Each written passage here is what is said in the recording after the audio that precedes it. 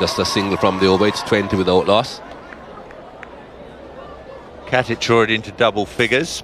13 from 20 balls faced. Uh, Shane Watson's made just five from 17 balls. Life not uh, straightforward for the batsman.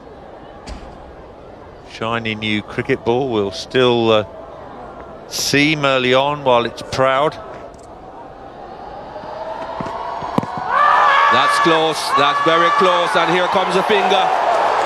They decided to bowl straight. Who am I talking about? Don't bowl straight. That's gone. This is the problem for Simon Katich. He gets so far across his stumps that if he misses it, he's usually plumb LBW. Had the benefit of the doubt a couple of occasions at Lords, but not so here. It's a very important early breakthrough for Pakistan. Simon Katich trapped LBW by young Mohammad Amir. He goes for 13. It's 20 for 1. An early outing to the crease for Ricky Ponting opening partnership did a much better job at Lords. But he has an excellent record at this ground. Only four innings here, two half centuries, two centuries. Complete contrast to what he has done at Lords. He'll be happy to get away from that ground and to be at Headingley.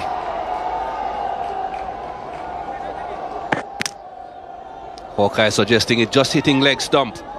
But that's close enough for umpire Rudi Koertzen. The slow left arm.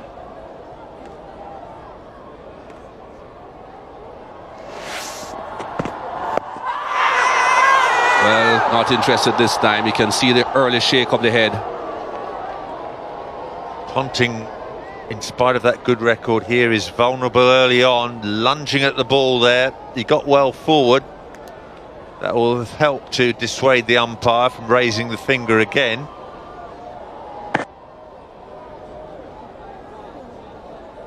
That is mighty close. Does he hit that? No, says Ian Gould.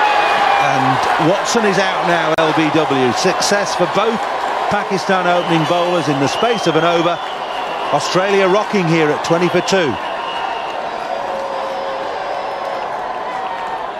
Warning everyone, wow, bang. Another wicket for Pakistan. Was a quite a sedate start, but this last couple of overs has just turned the corner. Shane Watson's taking a long time to get off. Just wondering he sort of held his bat there, whether he thought he got an inside edge, but it looked pretty adjacent. It's definitely hitting the stumps. It's just whether he got a little tickle on it before it. Australia lose their second wicket, 20 for 2. So Australia 20 for 2. Michael Clarke comes in to join his captain Ricky Ponting. Two LBWs in the space of an over and both uh, out as well. Got rid of both the openers. The last one to go, Shane Watson. Plum to Mohammad uh, Asif. Here he is now into Michael Clarke. Just enough movement around, isn't there? A little bit of swing, a little bit of seam. Good decision this from Ian Gould. Watson. It's a loose stroke, really, I think. He's uh, half forward, hit on the shin and it's going on to hit um, middle and off. Nowhere near hitting it. Just plumb. Yep, with you. I'm not sure why he was sort of hanging in the bat around. Maybe it was just disappointment than anything else. It was a, a nipping back a little bit cherry. It was a beautiful cherry. It was absolutely salmon trout. It was plumb. That's not far off either little bit of bat maybe. Clarke saying, no, I don't want to run and pointing his bat down the pitch. May have been going down the leg side as well. It's just started to seem a little bit, little tickle. I think the umpires have had a good morning. They've made a case, you said, Paul, a good decision on Ricky Ponting. I think it was first ball to say not out. A couple of excellent LBW decisions. That's close, I tell you. Not close enough for Rudi dismissive shake of the head. 23 for two.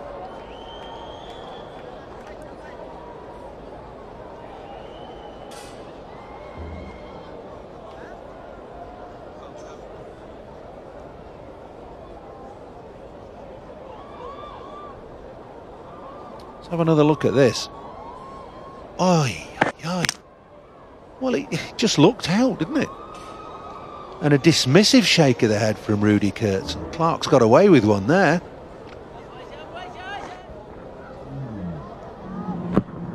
Oh, there's nowhere near with bat. He might have might have hit his pad, which he has, but that might have saved him really.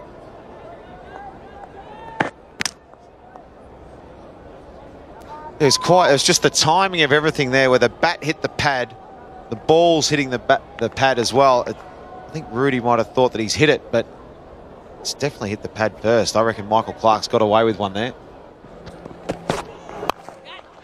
That's how uh, poor he is against the short ball. Don't get it quite right, and he'll uh, smack it away through mid-wicket. It's quite going to make the boundary.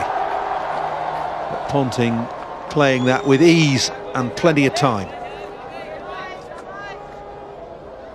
Yeah, and you notice even with the pitch just sat up a bit on the wicket too. The last few overs have really nipped quite quickly because of the fuller length. This one a bit short, and look how much time Ricky's got. He does normally get into a good position, but I think the slowness of the pitch means he couldn't really cream it. A lot of uh, Yorkshire players and luminaries here today to, for the opening of this uh, Carnegie Pavilion. Brian Close, bottom left.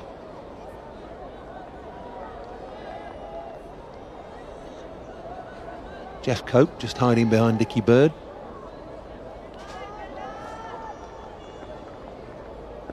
All you need is Geoff Boycott in there and then there'll be all sorts of ructions going on.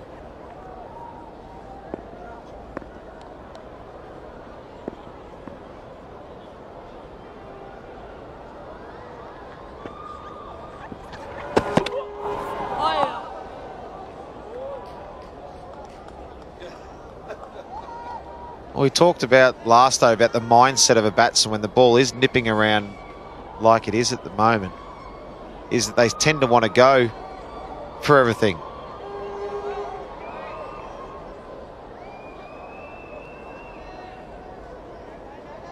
Seen a couple of player misses on these last two deliveries. And it's been the length. There's been a flash at a big full drive and then one that he thought was short and wide, Michael Clarke, for a cut, which sort of nipped back. Batting's quite difficult. Bowled in, full ball. Clarke plays all around it. Very full ball, this is really good bowling by the Pakistan bowlers. The trio of seamers have got a wicket each now, and Australia 27 for three.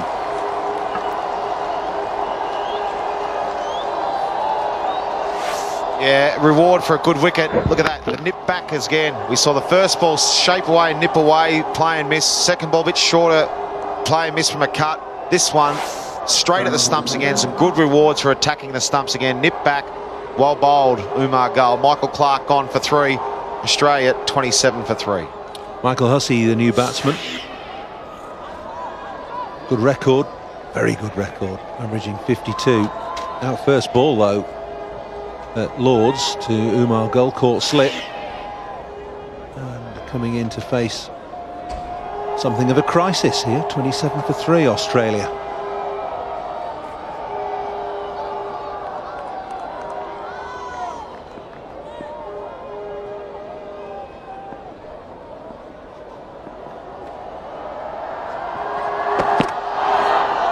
Left.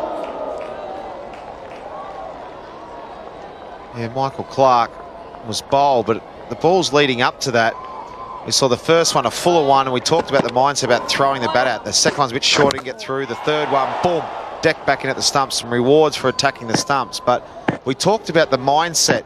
You get anything full, you want to chase, and suddenly you get a little bit loose. That one there, Michael Clarke, might have wanted to play a nice, tight, forward defensive stroke at it, but because it was full, and he was in his mind to attack to try and get on top of the bowler, which is the right mindset.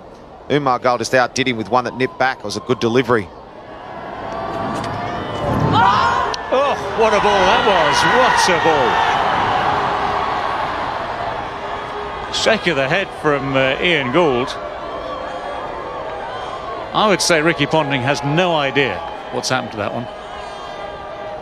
He's been phenomenal this morning, Mohammad Asif. They can't believe it. they all went for the caught behind shout.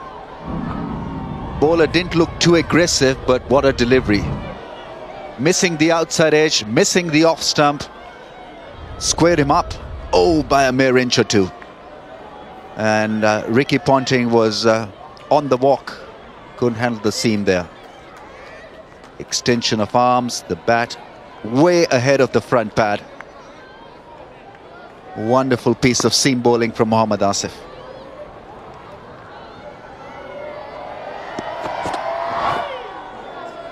Well, what, that first delivery of the over, it deserved to clip that off stump, didn't it, really? It was one of those ones where, you know, the length was absolutely perfect. Must have missed, well, must have missed the outside edge of the bat by not very much. And the outside of the off stump by an inch or two more. But the shape of it was absolutely gorgeous.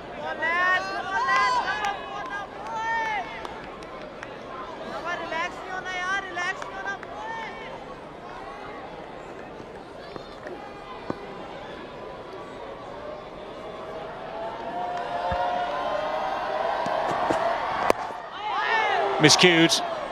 Ponting very quickly making sure he gets off the strike. Well, he would have done, but for some sloppy fielding. Went for the quick single, got the overthrow, so he's back on strike again.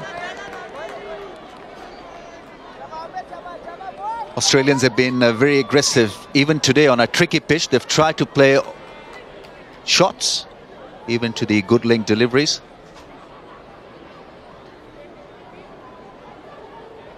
And batting conditions were expected not to be.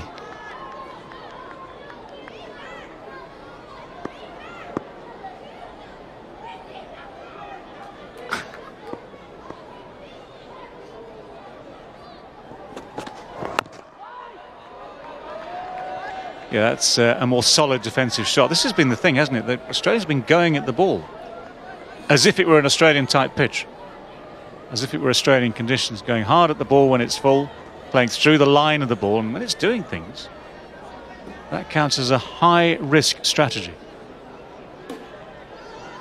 That's the other problem. Uh, Michael Clarke, we know, wants to bat uh, the way he wants to bat on all kinds of pitches. He's aggressive, as is Ricky Ponting. We need somebody like uh, a Michael Hussey. Oh, that's close enough to call given. He was walking. Ricky Ponting knew that he was dead in front of the stumps. Asif with a huge grin on his face. This is an excellent performance by Pakistan this morning. Fourth wicket down. Well, Ricky Ponting will need someone else to clear up this mess now. He's thrust that front pad down the pitch. He's uh, off balance here. It's hit him right in front of uh, middle stump. Would have hit leg stump.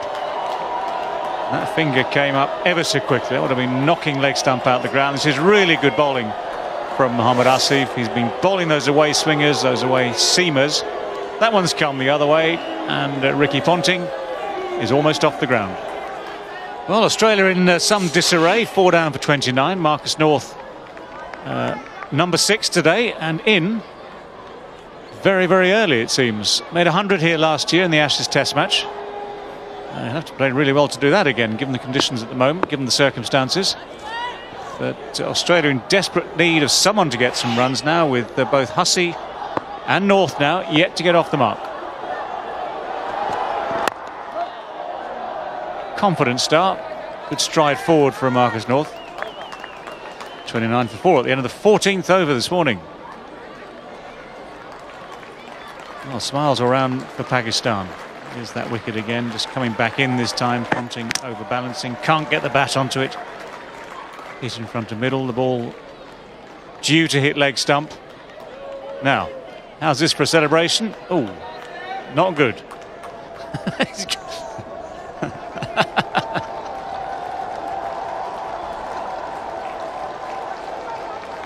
uh, looks like the answer is uh, concentrate on bowling.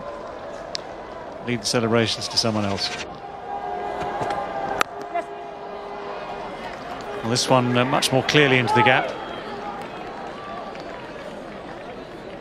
So Michael Hussey also now off the mark. It's a long road from here on isn't it? Yes, uh, this pair would be hoping that Asif finishes soon because he's already in his eighth over. It's been a long spell for Mohammad Asif and we know that he's not been 100% when it comes to